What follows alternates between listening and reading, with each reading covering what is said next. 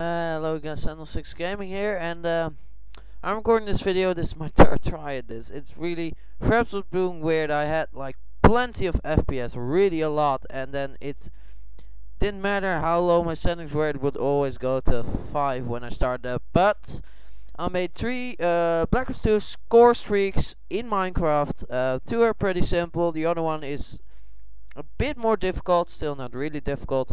And I'm gonna explain them to you, so gonna show them to you. So, um, got the care package, the Rolling Thunder, and the Guardian. So I'm gonna start with the care package. So this is fairly simple. Hopper clocks are I use a lot. They're very fast to check. It's basically it's trying to clear the map. So when I right click the map, it, it's a very often used mechanism. So this is the used map, actually the map of something. So when I right click this, it will activate this and uh, summon a falling sand with the tile ID of the chest. which is a minute, I'll scroll to the actual command more. So uh, just wait, uh, wait, let me scroll back. So falling sand, 20 above the command block, tile ID 54, which is. Uh, chest time 1 so that it doesn't immediately disappear. All commands will be in the description below. Tile entity data which is the items that are in there. So uh, I can actually have random items generated in there for now I just had ammo. So um, let's uh, let's test it out. So it will appear there. It will clear from my inventory and boof. Ammo. And it's very basic. I can show it again. So it's just as soon as it's changed in the that map it will uh, activate this comparator and wait just a minute actually I should show it why you can actually see that so. It will activate that. And because there's already a chest it will break. And it will uh, clear the the uh, object so it's pretty simple pretty straightforward.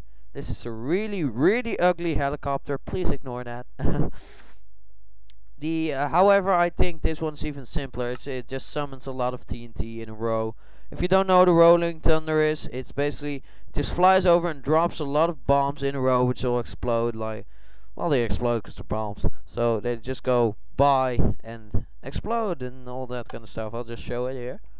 So they all drop. They all. Uh, so they don't immediately explode. Uh, that would require some more time with the fuse and basically what I did is at the end it, it doesn't drop one but four TNT at the exact same position for a bit more of an ending bang. And you can use them many times as you want and basically won't mine down so totally destroying it here but you can get the ID maybe. I didn't like build a giant plane just for aesthetics here but uh, you can get the ID so I'll show the command. Uh, all uh, the commands are pretty much, except for the coordinates, all same. So it's summon prime TNT with a fuse of 120. So yeah, that's pretty simple actually. It's still fun. So yeah, I guess we'll go on to the Guardian. So this system is automatic running. I don't have anything uh, to do anything to activate this. So Guardian basically in the Call of Duty is it's like sense this heat wave or ray or anything it damages you slowly kills you and it makes you walk slower and like blurs vision. So how I simulated that here if I go and walk in front of it I will get slowness blindness nausea and poison. But because I'm in creative I won't actually get poison. Oh wait. It's kinda screwing up right now. Wait just a minute. Just gonna get close to it. And there we go so what if I oh if I go into the menu with a like oh yeah I shouldn't have gone into the menu there. Oh and you will see I am taking now, now taking damage because I'm walking towards it.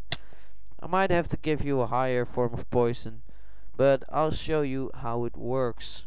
So I've got two running. So um Hopper clock with the testfor command which is testing so for someone um, within basically this radius in front of it.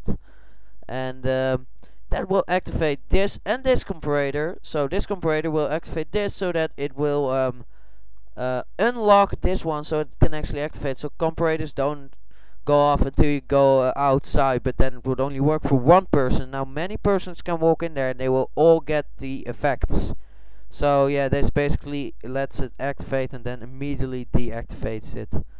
That's all. And uh, that's for command. Then it will just give, basically give you all the potion effects here. Or six nines which basically gives you infinite potion effects. And then when it deactivates again um, the, which it does when you walk out it will clear your effects so that they actually go away.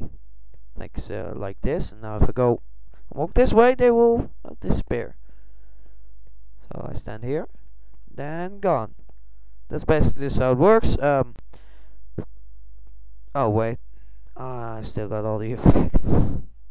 Wait just a minute. If you walk through repeatedly I think it just messed up a little. But um, yeah the Guardian. Take my effects please. Ah I don't care. But um, yeah that's basically all I have to tell um, I basically used the summon command, effect command, testfor is really a great command, I really like it. And you can summon the capex from wherever you are, but it will only drop there because of the summon command. I don't know, I just really like seeing that dropping. But um, that was, was it for this video. I hope I get rid of the slowness and uh, goodbye.